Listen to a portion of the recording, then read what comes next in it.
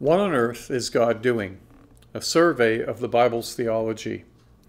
Christ, his story incarnate. Matthew chapter 1 through Acts chapter 1. The Apostle Paul writes that Christ came to confirm the promises given to Israel in the Old Testament. Romans 15, verse 8. For I say that Christ has become a servant to the circumcision on behalf of the truth of God to confirm the promises given to the fathers. It's not surprising to see Jesus presented to his people at his arrival on earth as the key to the fulfillment of God's redemptive and kingdom programs. As he would fulfill God's plan to save sinners, an angel told Joseph, You shall call his name Jesus, for he will save his people from their sins. Another angel announced to the shepherds, Today in the city of David there has been born for you a Savior. Recognizing that he would fulfill God's plans to restore his kingdom authority, wise men from the east came seeking the King of the Jews, the Messiah, the prophesied ruler who would shepherd Israel. Matthew chapter 2, verses 1 to 6. Now, after Jesus was born in Bethlehem of Judea in the days of Herod the king, Magi from the east arrived in Jerusalem, saying, Where is he who has been born King of the Jews? For we saw his star in the east and have come to worship him. When Herod the king heard this, he was troubled, and all Jerusalem with him. Gathering together all the chief priests and scribes of the people, he inquired of them where the Messiah was to be born. They said to him, In Bethlehem of Judea for this is what has been written by the prophet. And you, Bethlehem, land of Judah, are by no means least among the leaders of Judah. For out of you shall come forth a ruler who will shepherd my people Israel. The angel Gabriel announced to Mary, The Lord God will give him the throne of his father David, and he will reign over the house of Jacob forever, and his kingdom will have no end. Luke 1 32 and 33. In, the, in light of the grandeur and significance of his arrival, we might have expected a grand and royal welcome for this Savior and King. Such, we know, was not at all the case. His arrival hardly caused a ripple on either the secular or religious scene of Israel. A few shepherds, some Eastern astrologers, and a few elderly believers who rejoiced at his first appearance in the temple were the only ones who showed any enthusiasm for him. Even the exact day of his birth has been lost. The world not only failed to notice his birth, but almost most of his life. Except for being noticed as a remarkably wise child in his visit to the temple at age 12, Jesus gathered no attention whatsoever. Luke 2 46 and 47 then after three days they found him in the temple, sitting in the midst of the teachers, both listening to them and asking them questions. And all who heard him were amazed at his understanding and his answers. At the beginning of his public ministry, around the age of 30, his first sermon at the local synagogue surprised everyone. Luke 4:22. And all were speaking well of him and wondering at the gracious words which were falling from his lips. And they were saying, Is this not Joseph's son? Though he became quite popular during the first half of his public ministry, the tide of public opinion soon turned against him. Eventually, both the religious leaders and the people as a whole rejected him as a worthy candidate for the Messiah. In the end, he wound up with a price on his head and was executed as a dangerous criminal. What went wrong? Why did Israel reject their Savior and King? The answer seems to lie in four things. One, the kind of Messiah Israel was seeking. Two, the message and ministry of Jesus. Three, Israel's false religious system and leadership. And four, the sovereign plan of God. One, the kind of Messiah Israel was seeking. In the previous centuries, Israel had returned from captivity in Babylon and had reestablished their nation in Palestine. They had survived the fierce attempt of Greek Syrian rulers to force them to reject their own religion and culture and accept Greek religion and culture instead. Israel had been forced to defend their faith both philosophically and physically against the onslaughts of paganism. Out of this struggle came the religious conservative party called the Pharisees, meaning separatists. They were conservative both in their beliefs and practices and sought to maintain purity of life and teaching through their traditions. These traditions were their interpretations of how the scriptures should be applied, and they tried to apply them vigorously to every aspect of life. The climate they created was conservatism with a vengeance. Ellison explains how their approach colored their view of the coming Messiah. This vengeful conservatism played an important part in developing their view of the Messiah. It taught them to watch for his coming, to be sure, but their yearning for national vengeance blurred their vision of what to expect. Having fought the encroachments of paganism, both religious and political, they saw themselves as valiant champions of godliness and true religion. When Messiah would come, he would surely dash to their side and vindicate their cause. Like David, he would slay Goliath and rout the Philistines. As a Jewish Alexander the Great, he would destroy their enemies and catapult them into international prominence. The prophets certainly confirmed this conquering prince expectation, but it became a political fixation with them, blurring their view of the spiritual work of the Messiah. In their enthusiasm for a conquering king, Messiah, they neglected and misunderstood the importance of the suffering servant role of the Messiah and of their need to repent in order to experience the redemption he would bring. In fact, they came to view their own nation as the suffering servant of the Lord and their political need for national deliverance as overriding any spiritual need for repentance. They saw themselves as righteous, in no need of repentance. So when Jesus came and presented himself to them, their view of him was preconditioned and skewed by their distorted views of both Scripture and their own spiritual need. 2. The message and ministry of Jesus. His forerunner's message and ministry. John the Baptist came to prepare people for the Messiah's coming, and so he called upon them to repent in order to be ready to participate in God's kingdom. Matthew 3 1 to 12. Now, in those days, John the Baptist came, preaching in the wilderness of Judea, saying, Repent, for the kingdom of heaven is at hand. For this is the one referred to by Isaiah the prophet when he said, The voice of one crying in the wilderness, Make ready the way of the Lord make his paths straight. Now John himself had a garment of camel's hair and a leather belt around his waist, and his food was locusts and wild honey. Then Jerusalem was going out to him, and all Judea, and all the district around the Jordan, and they were being baptized by him in the Jordan River as they confessed their sins. But when he saw many of the Pharisees and Sadducees coming for baptism, he said to them, you brood of vipers, who warned you to flee from the wrath to come? Therefore, bear fruit in keeping with repentance. And do not suppose that you can say to yourselves, We have Abraham for our father. For I say to you that from these stones God is able to raise up children to Abraham. The axe is already laid at the root of the trees. Therefore, every tree that does not bear good fruit is cut down and thrown into the fire. As for me, I baptize you with water for repentance. But he who is coming after me is mightier than I, and I am not fit to remove his sandals. He will baptize you with the Holy Spirit and fire. His winnowing fork is in his hand, and he will thoroughly clear his threshing floor. And he will gather his wheat into the barn, but he will burn up the chaff with unquenchable fire.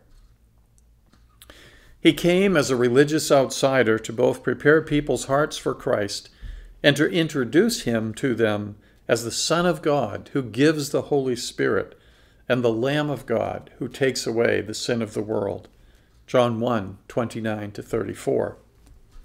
The next day he saw Jesus coming to him and said, Behold the Lamb of God who takes away the sin of the world. This is he on behalf of whom I said, After me comes a man who has a higher rank than I, for he existed before me. I did not recognize him, but so that he might be manifested to Israel, I came baptizing in water. John testified, saying, I have seen the Spirit descending as a dove out of heaven, and he remained upon him. I did not recognize him, but he who sent me to baptize in water said to me, He upon whom you see the Spirit descending and remaining upon him, this is the one who baptizes with the Holy Spirit. I myself have seen and have testified that this is the Son of God. While many common people recognized their spiritual need and received John's baptism to indicate their repentance, the religious leaders of the nation rejected John's ministry and what God intended to do through him. Luke 7 29 and 30. When all the people and the tax collectors heard this, they acknowledged God's justice, being, having been baptized with the baptism of John. But the Pharisees and the lawyers rejected God's purpose for themselves, not having been baptized by John. Ellison explains how John's ministry was an essential prelude to Jesus' own ministry. This judgment ministry of John was divisive, to be sure, but it was an essential prelude to Jesus' ministry. Though the Savior came to bless his people, judgment had to precede blessing. Their shallow response to the forerunner forced Jesus to take up the same cudgel himself repent, for the kingdom of heaven is at hand. Although the ministry of Jesus was basically one of joy, his purpose of seeking repentance was not diminished. In the process, however, he, like John, also received a meager response. Repentance was hard to come by in Israel. Jesus' kingdom message and ministry, his message, the Sermon on the Mount, and the conversation with Nicodemus. In describing the characteristics of the citizens of his kingdom in the Sermon on the Mount, Jesus clarified true righteousness. It is not a matter of religious ritual, but of spiritual purity. Matthew 5 1 to 12. When Jesus saw the crowds, he went up on the mountain, and after he sat down, his disciples came to him. He opened his mouth and began to teach them, saying, Blessed are the poor in spirit, for theirs is the kingdom of heaven. Blessed are those who mourn, for they shall be comforted. Blessed are the gentle, for they shall inherit the earth. Blessed are those who hunger and thirst for righteousness, for they shall be satisfied. Blessed are the merciful, for they shall receive mercy. Blessed are the pure in heart, for they shall see God. Blessed are the peacemakers, for they shall be called sons of God. Blessed are those who have been persecuted for the sake of righteousness, for theirs is the kingdom of heaven. Blessed are you when people insult you and persecute you and falsely say all kinds of evil against you because of me. Rejoice and be glad, for your reward in heaven is great, for in the same way they persecuted the prophets who were before you.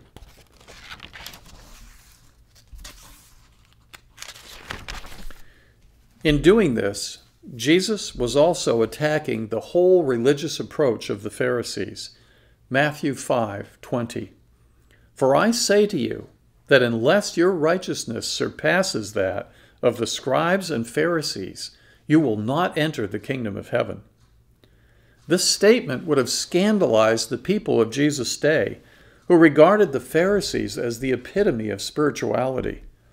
But as Jesus explained to Nicodemus, himself a Pharisee and a leading religious teacher, only a spiritual rebirth through faith in the Messiah produced the kind of righteousness necessary for the kingdom of God.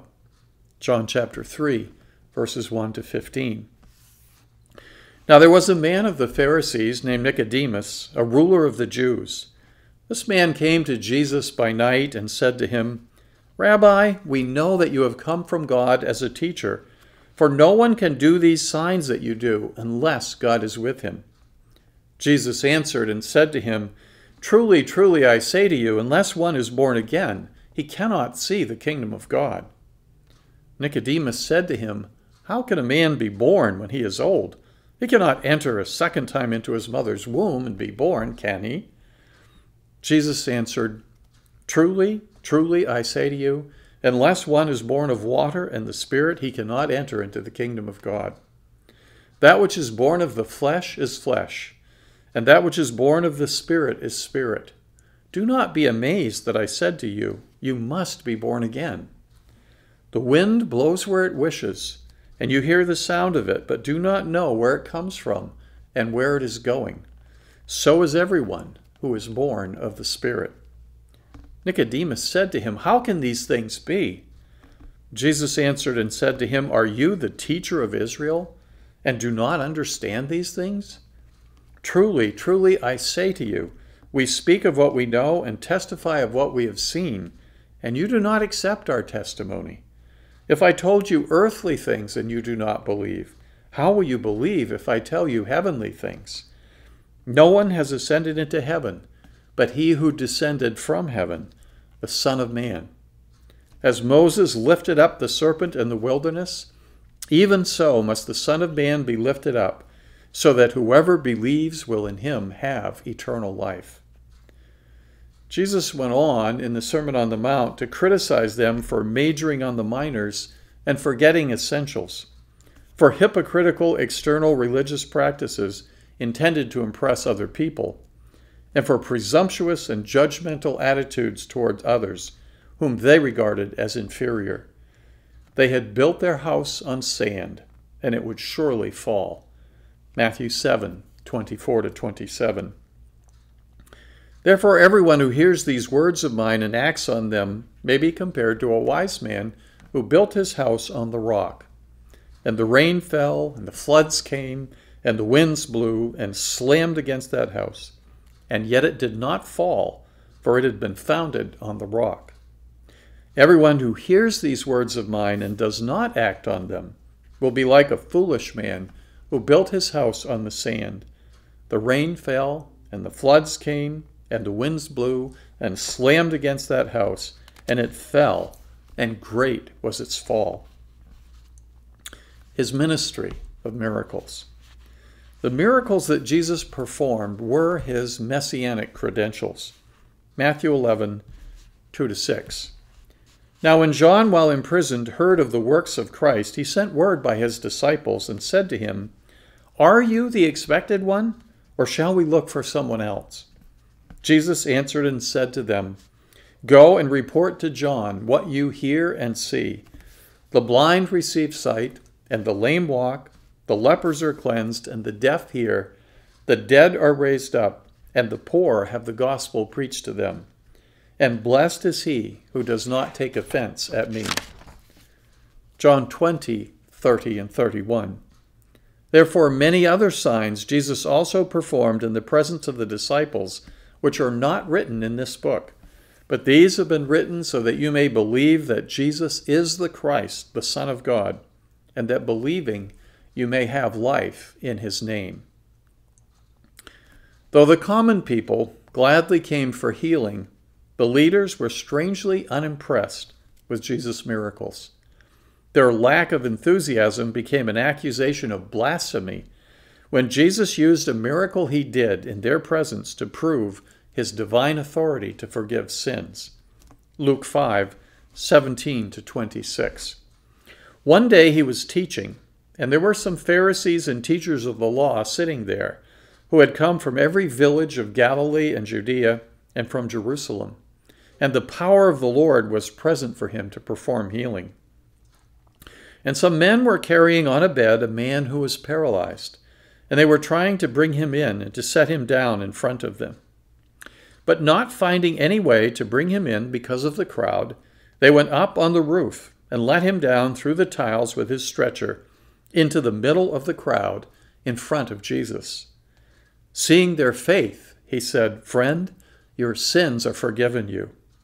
The scribes and the Pharisees began to reason, saying, Who is this man who speaks blasphemies? Who can forgive sins but God alone? But Jesus, aware of their reasonings, answered and said to them, Why are you reasoning in your hearts? Which is easier to say, Your sins have been forgiven you, or to say, Get up and walk? But so that you may know that the Son of Man has authority on earth to forgive sins, he said to the paralytic, I say to you, Get up and pick up your stretcher and go home. Immediately he got up before them and picked up what he had been lying on and went home, glorifying God. They were all struck with astonishment and began glorifying God. And they were filled with fear, saying, We have seen remarkable things today. His undeniable ability to perform miracles presented them with a problem. Is not such a person with such ability the Messiah? Matthew 12, verses 22 and 23. Then a demon possessed man who was blind and mute was brought to Jesus, and he healed him, so that the mute man spoke and saw. All the crowds were amazed and were saying, This man cannot be the son of David, can he? Their answer Jesus was able to perform such miracles not because he was the Messiah, but because he was empowered by the devil. Matthew 12, 24. But when the Pharisees heard this, they said, This man casts out demons only by Beelzebul, the ruler of the demons. Ellison accurately notes With this charge, they dogged him to the cross and shouted down any attempt to prove his messiahship by his miracles.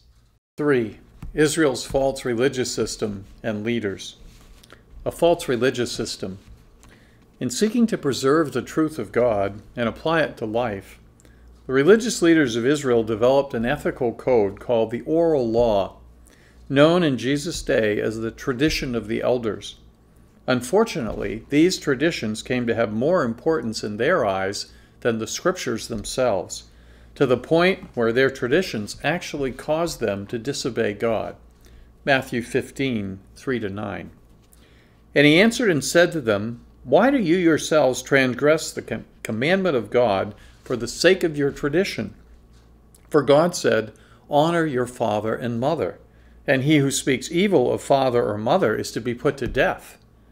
But you say, Whoever says to his father or mother, Whatever I have that would help you has been given to God.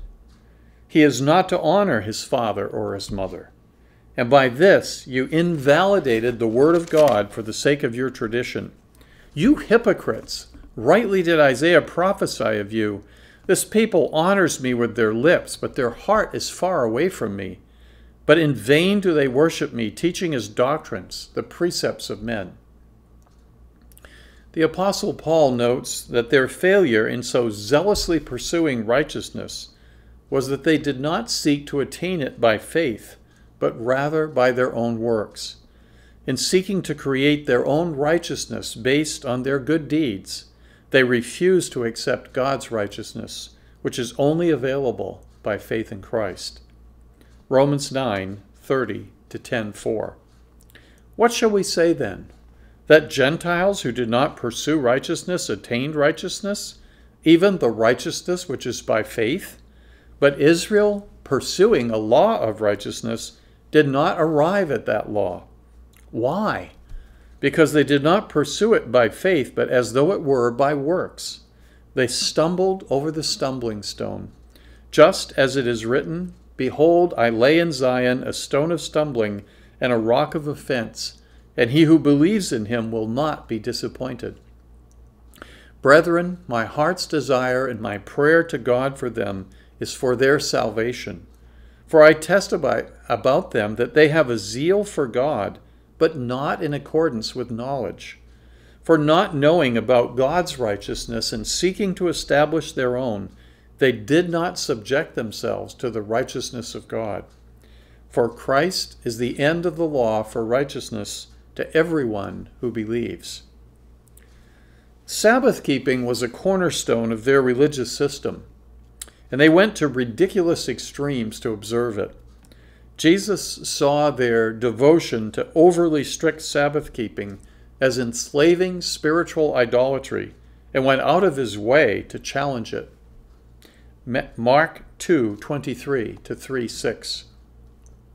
And it happened that as he was passing through the grain fields on the Sabbath, and his disciples began to make their way along while picking the heads of grain, the Pharisees were saying to him, Look, why are they doing what is not lawful on the Sabbath? And he said to them, Have you never read what David did when he was in need, and he and his companions became hungry? How he entered the house of God in the time of Abiathar the high priest, and ate the consecrated bread which is not lawful for anyone to eat except the priests, and he also gave it to those who were with him. Jesus said to them, The Sabbath was made for man, and not man for the Sabbath. So the Son of Man is Lord even of the Sabbath. He entered again into a synagogue, and a man was there whose hand was withered. They were watching him to see if he would heal him on the Sabbath so that they might accuse him he said to the man with the withered hand, Get up and come forward. And he said to him to them, Is it lawful to do good or to do harm on the Sabbath, to save a life or to kill? But they kept silent. After looking around at them with anger, grieved at their hardness of heart, he said to the man, Stretch out your hand. And he stretched it out, and his hand was restored. The Pharisees went out and immediately began conspiring with the Herodians against him as to how they might destroy him. Ellison explains why Jesus' approach caused such a negative reaction. For smashing these two idols, their traditions and their Sabbaths, Jesus was condemned by the nation. Such iconoclasm could not be condoned, for it jeopardized their whole religious structure it eroded their legal foundation. Thus, they had no place for this Galilean maverick in their system, and he had no place for their Satan inspired system in his kingdom program. Israel's false religious leaders. In the end, Israel's religious leaders condemned Jesus to death for his claim to be the Christ, the Son of God. This claim they regarded as blasphemy. But from the beginning and all along the way, they had reasons for disliking him. First of all, he was an outsider, not trained in their theological schools. He came from the despised town of Nazareth in Galilee, not Jerusalem or even the province of Judea. John 1 45 and 46. Philip found Nathanael and said to him, We have found him of whom Moses and the law and also the prophets wrote Jesus of Nazareth, the son of Joseph. Nathanael said to him, Can any good thing come out of Nazareth? Philip said to him, Come and see. The second, he had little use for their treasured traditions and made no bones about saying so. His cleansing of, cleansings of the temple and his criticisms of their teachings made him seem to them like a bull in a china shop overturning sacred traditions and threatening the religious status quo to which their positions and power were tied. John 11, 47 and 48. Therefore, the chief priests and the Pharisees convened a council and were saying, What are we doing? For this man is performing many signs. If we let him go on like this, all men will believe in him, and the Romans will come and take away both our place and our nation. Third, his closest associates were fishermen and tax collectors, and he often enjoyed the company of lowly social outcasts, sinners. How could such a person be the holy Messiah and Son of God? Luke 15, verses 1 and 2. Now all the tax collectors and the sinners were coming near to listen to him. Both the Pharisees and scribes began to grumble, saying, This man eats with sinners and receives them. Of course, we also must recognize that Jesus rejected them. He said they were unfit for the kingdom. Matthew chapter 5, verse 20. For I say to you that unless your righteousness surpasses that of the scribes and Pharisees, you will not enter the kingdom of heaven. He compared them to thieves and robbers who ravished God's flock. John 10, verse 8 and 10. All who came before me are thieves and robbers, But the sheep did not hear them. The thief comes only to steal and to kill and to destroy. He called them children of the devil, whose hearts were filled with lying, murderous desires. John 8, 44. You are of your father the devil, and you want to do the desires of your father. He was a murderer from the beginning and does not stand in the truth because there is no truth in him. Whenever he speaks a lie, he speaks from his own nature, for he is a liar and the father of lies. His final verdict on them was that they were snakes who would certainly be sentenced to hell. Matthew 23 33. You serpents, you brood of vipers, how will you escape the sentence of hell? Is it any wonder that these false religious leaders engineered his rejection and death? 4. The sovereign plan of God. When Christ came, he presented himself as the King of Israel. Matthew 21, verses 1 to 9. When they had approached Jerusalem and had come to Bethphage at the Mount of Olives, then Jesus sent two disciples, saying to them, Go into the village opposite you, and immediately you will find a donkey tied there and a colt with her. Untie them and bring them to me. If anyone says anything to you, you shall say, The Lord has need of them, and immediately he will send them. This took place to fulfill what was spoken through the prophet. Say to the daughter of Zion, Behold, your king is coming to you, gentle and mounted on a donkey, even on a colt, the foal of a beast of burden. The disciples went and did just as Jesus had instructed them, and brought the donkey and the colt, and laid their coats on them, and he sat on their coats. Most of the crowd spread their coats in the road, and others were cutting branches from the trees and spreading them in the road. The crowds going ahead of him and those who followed were shouting, Hosanna to the Son of David! Blessed is he who comes in the name of the Lord! Hosanna in the highest!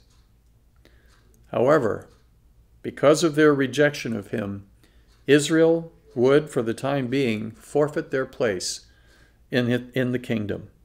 Matthew 21, 42 to 44. Jesus said to them, did you never read in the scriptures? The stone which the builders rejected, this became the chief cornerstone. This came about from the Lord, and it is marvelous in our eyes. Therefore I say to you, the kingdom of God will be taken away from you and given to a people producing the fruit of it. And he who falls on this stone will be broken to pieces, but on whomever it falls, it will scatter him like dust. He would indeed return in the future and establish his glorious kingdom. Matthew 25, verses 31 to 34. But when the Son of Man comes in his glory and all the angels with him, then he will sit on his glorious throne. All the nations will be gathered before him, and he will separate them from one another, as the shepherd separates the sheep from the goats and he will put the sheep on his right and the goats on his left. Then the king will say to those on his right, Come, you who are blessed of my Father, inherit the kingdom prepared for you from the foundation of the world. For the present, the kingdom of God on earth would take quite a different form. The execution of the king of the Jews, engineered by his enemies, became the means by which God would save the world. His death was not only a tragic injustice, but a divinely ordained sacrifice, providing forgiveness of sins. Matthew 26, 26 to 28. While they were eating, Jesus took some bread, and after a blessing, he broke it and gave it to the disciples and said, Take, eat, this is my body. And when he had taken a cup and given thanks, he gave it to them, saying, Drink from it, all of you. For this is my blood of the covenant, which is poured out for many for forgiveness of sins. The new covenant, established by Jesus' death, would become the basis of a whole new body of believers, the church which Jesus had promised to build. Matthew 16, 18. I also say to you that you are Peter, and upon this rock I will build my church, and the gates of Hades will not overpower it. Ellison ties Israel's tragic rejection of the Messiah to the triumph of the cross and the birth of the church. The wrath and whims of men do not frustrate the purposes of God in the final analysis. Out of this apparent tragedy, God brought the spiritual triumph of the cross and the offer of salvation to all people. The immediate fruit of Messiah's rejection, then, was the present age of the church. But before we leave the life and ministry of Christ, let's notice how thoroughly, in the sovereign plan of God, Jesus' death on the cross resolved the problems created by mankind's fall into sin in the Garden of Eden. John Cross draws these conclusions and comparisons between the consequences of our sinfulness and the solutions brought to us by Jesus' death. And I will mix these consequences and how the cross deals with them together so you can see the connection between them. The consequences of our sinfulness. I am accused and found guilty of breaking God's law. How Jesus' cross deals with the consequences. God, as the perfect judge, declares me right with him justified. He now views me as sinless. Consequences. To break God's law is sin, and my sin incurs a sin debt, a consequence I must pay. The cross. My sin debt was taken care of on the cross. The debt is gone, paid in full, erased. Consequences. The debt can only be paid by my death, a payment that is made for eternity in the lake of fire the cross. God gives me a new life, both now and for all of eternity in heaven. Consequences. It is impossible for me to keep God's law perfectly. Even when I try hard, I still find myself failing. In addition, Satan manipulates me to do his will. I am a slave. The cross. Once enslaved, I have now been bought with Jesus' blood and set free. I am no longer a slave to Satan's purposes. Consequences. My sin has created a chasm, a barrier between God and me. I am a stranger. The cross. Not only am I free, but God has adopted me into his family. The great chasm caused by my sin has been removed. Consequences. When I was born into this world, I joined forces with Satan, who also sinned against God the cross. Jesus' death and resurrection defeated Satan. I no longer belong to the devil. I have peace with God. Consequences. Having chosen my own way, I find myself in a spiritual wilderness, groping for truth. I am like a lost sheep. The cross. Jesus, as the Good Shepherd, has found me and given me new life, eternal life, forgiveness, purpose for living, freedom from guilt, and so much more. How then did the kingdom of God develop during the time Christ was on earth? In this section, as in all the sections on the development of the kingdom and how people were saved during a particular period of time, I'm greatly indebted to Dr. David Christensen for the use and adaptation of his material on biblical theology. 1. The king was anticipated. It is clear that the New Testament writers anticipated the Messiah to be king in the normal sense of the word. They understood the Old Testament prophecies to refer to the king in the Davidic sense of royalty. The Messiah would be the fulfillment of those Old Testament prophecies of the restoration of Israel to worldwide dominion. 2. The king was selected and anointed. Matthew 3 13 to 17. Then Jesus arrived from Galilee at the Jordan, coming to John to be baptized by him. But John tried to prevent him, saying, I have need to be baptized by you, and do you come to me? But Jesus answering said to him, Permit it at this time, for in this way it is fitting for us to fulfill all righteousness. Then he permitted him. After being baptized, Jesus came up immediately from the water. And behold, the heavens were opened, and he saw the Spirit of God descending as, a dove and lighting on him. And behold, a voice out of the heavens said, This is my beloved Son, in whom I am well pleased. John 1 31 to 34. I did not recognize him, but so that he might be manifested to Israel, I came baptizing in water. John testified, saying, I have seen the Spirit descending as a dove out of heaven, and he remained upon him. I did not recognize him, but he who sent me to baptize in water said to me, He upon whom you see the Spirit descending and remaining upon him, this is the one who baptizes in the Holy Spirit. I myself have seen and have testified that this is the Son of God. The meaning of Christ's baptism was that it fulfilled all the human and spirit anointing imagery of the Old Testament. Just as the prophets physically anointed the first three kings of Israel, so John the Baptist became the New Testament kingmaker. Just as the first two kings were anointed with the Spirit, Jesus Christ was Spirit anointed to perform his messianic ministry as a fulfillment of Old Testament prophecy. Isaiah 42 1 and 62 1. Behold, my servant whom I uphold, my chosen one in whom my soul delights. I have put my spirit upon him. He will bring forth justice to the nations.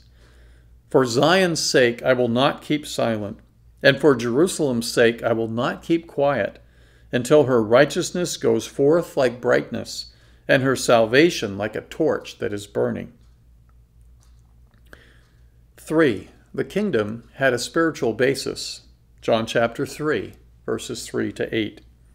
Jesus answered and said to him, Truly, truly, I say to you, unless one is born again, he cannot see the kingdom of God. Nicodemus said to him, How can a man be born when he is old? He cannot enter a second time into his mother's womb and be born, can he? Jesus answered, Truly, truly, I say to you, unless one is born of water and the Spirit, he cannot enter into the kingdom of God. That which is born of the flesh is flesh, and that which is born of the Spirit is spirit. Do not be amazed that I said to you, You must be born again. The wind blows where it wishes, and you hear the sound of it, but do not know where it comes from and where it is going. So is everyone who is born of the Spirit. The only way to enter this kingdom was by regeneration. The kingdom was available to Israel both individually and nationally if she would accept this spiritual basis for this kingdom. 4. The kingdom was a present reality. Matthew 12:28. But if I cast out demons by the Spirit of God, then the kingdom of God has come upon you. Luke 17:20 and 21. Now, having been questioned by the Pharisees as to when the kingdom of God was coming, he answered them and said, The kingdom of God is not coming with signs to be observed, nor will they say, Look, here it is, or there it is. For behold, the kingdom of God is in your midst. Although interpretation differs on these verses, it's best to understand them as teaching that the kingdom was among them in the person and work of the king. It cannot mean that the kingdom was an internal reality, spiritual indwelling, for such an idea was foreign to Judaism. Furthermore, Luke 17:21 clearly indicates that the antecedent you is the Pharisees. The point is that the reign of God is among them in the person of the king, Jesus Christ. This is consistent with the Old Testament, where the kingdom was closely associated with the king and the kingly line. 2 Samuel 7 12 to 14, Jeremiah 33 14 to 22.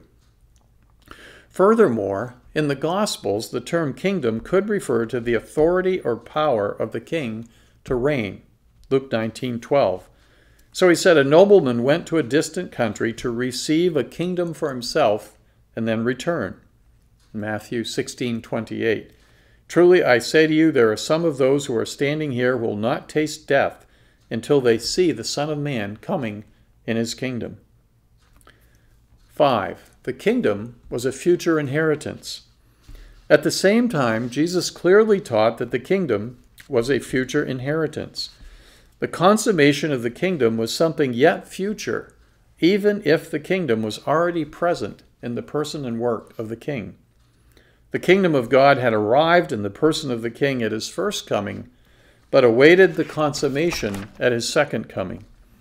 Jesus clearly taught that there was an interval between the two events related to the kingdom. Luke 17, 20 to 25. Now, having been questioned by the Pharisees as to when the kingdom of God was coming, he answered them and said, The kingdom of God is not coming with signs to be observed, nor will they say, Look, here it is, or there it is.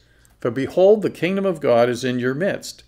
And he said to the disciples, The days will come when you will long to see one of the days of the Son of Man, and you will not see it. They will say to you, Look, there, look, here. Do not go away and do not run after them.